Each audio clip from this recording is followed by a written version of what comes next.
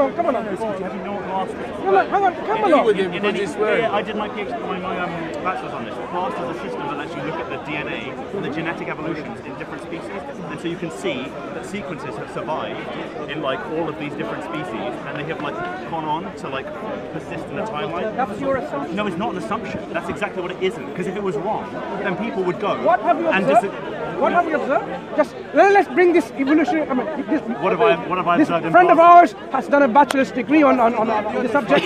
Right? No, no, no, no. No, We're dude, talking about someone who knows who's No, on no, the dude, subject. dude, it's not about what I know. It's about the principle of science, right? If, if they came tomorrow and they said, "Oh, we were completely wrong about BLAST," What it was wrong. No, no, let me tell you something. The difference between your ideology and mine is that I don't have a belief system. I'm not believing in anything. I don't have Look, any look, faith I- in science. we're not talking it's about that. proof.